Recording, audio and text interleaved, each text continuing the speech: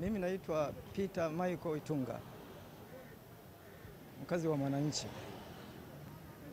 Usiku mimi nimelala, nikasikia kama upepo unavuma kama, yani kama vile tetemeko, ikaja ikapiga pale. Sasa mimi nikasitukia tayari niko nimebanwa, nimebanwa na kifusi nataka niinuke nikawafungulie wenzangu, nikashindwa.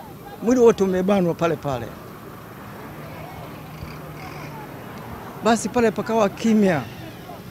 Baadaye sasa nikawasikia watu wanaongea yeah. Nimekaa kimya hivyo, baadaye nikasikia sauti moja ya mpepo. Kuna mpangaji wetu hapa ndio kani, kaniita kaniita nikaitika, nikamwambia vipi, mi nimebanwa, si ananiambia niinuke, mi siwezi kuinuka, kifusi kimenifikia. Basi wakaanza kunisaidia, wamenichimbua mpaka nimetoka. Wakati tukio linatokea ilikuwa ni majira ya saa ngapi hivi? Nafikiri kwenye saa, saa tisa na nusu kuelekea saa kumi e, usiku Kuja kuokoa kufikia hapo imechukua kama muda gani? E, Kupata uokozi mpaka wewe unatoka nje ilikuwa ni muda gani sasa? mpaka saa kumi na moja.